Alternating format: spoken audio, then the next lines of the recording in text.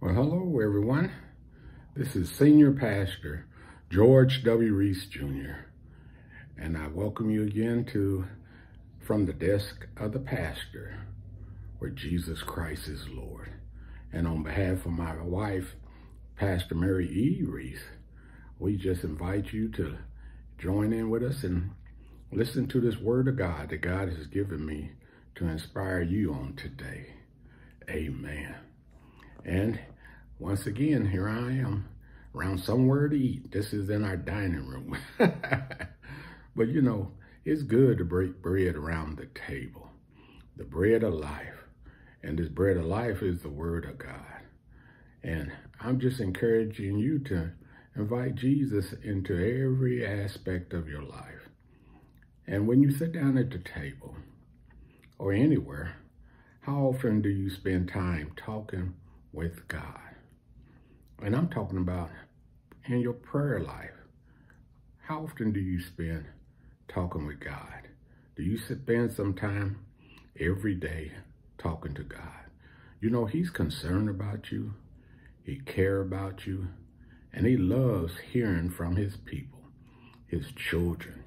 We are the children of God. Just think about that. We're somebody special. When people don't know who you are, they don't know that you're a child of the king. Amen. And God is just doing things for us right now. He's protecting us. He's blessing us. He's giving us our health. He even giving our next breath. He giving us our next plate of food. you know, our God is just so good and, and merciful and kind to us. And when nobody else loves us, you know what? God loves you. And you can sit down and you can talk with him you can fellowship with him, not just at the dinner table, but anywhere you go, day or night. His lines are never too busy to hear from his children. And the thing is, he always answers his children pleads. They're crying out there. And just to hear you say, thank you, I love you. How often do you tell God, oh, just thank you, God. I just love you for just being God. Too often we just want to ask for something, but God is like our parents.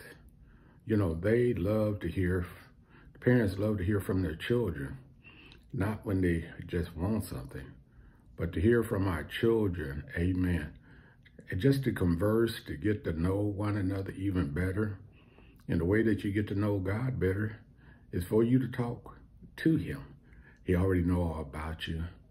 He knows your trials, your tribulation. He know your victories. He know when you're happy. He know when you're sad. he know when things are really on your mind.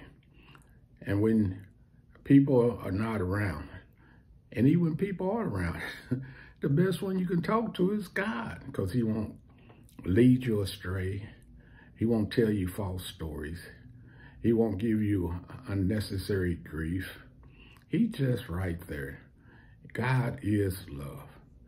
God is love. Not love is God, but God is love. And he loves us so much that he takes care of us, even when we don't know how to take care of ourselves. When our thinking is not right, when things are bothering us, and now be honest, you know, some things really bother you.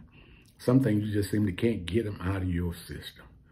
And I just encourage you on today, just learn how to give everything over to Jesus. He's a burden bearer.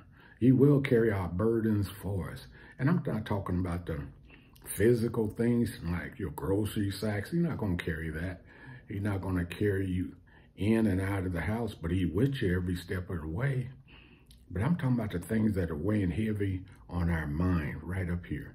You know, sometimes, you know, things are weighing so heavy on your mind. I don't know what it might be. It might be uh, work.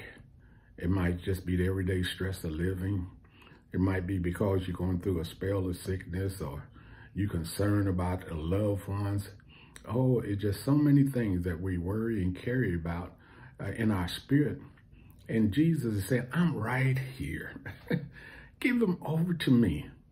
He says in First Peter 5 and 7, he says, cast your cares upon me, for I care for you.